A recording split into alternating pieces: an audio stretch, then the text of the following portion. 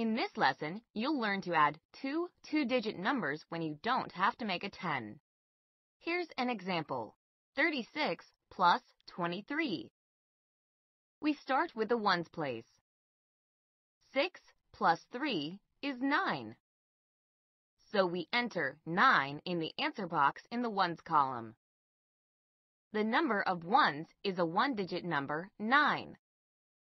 So we don't enter anything in this box. Now we add the tens. Three tens plus two tens is five tens. So we put 5 in the tens place here. So the answer is 59. Another example, 44 plus 24. We start with the ones place.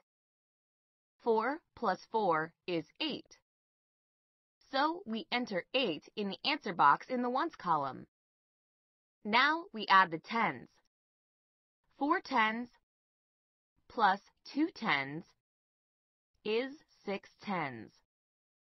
So we put 6 in the tens place.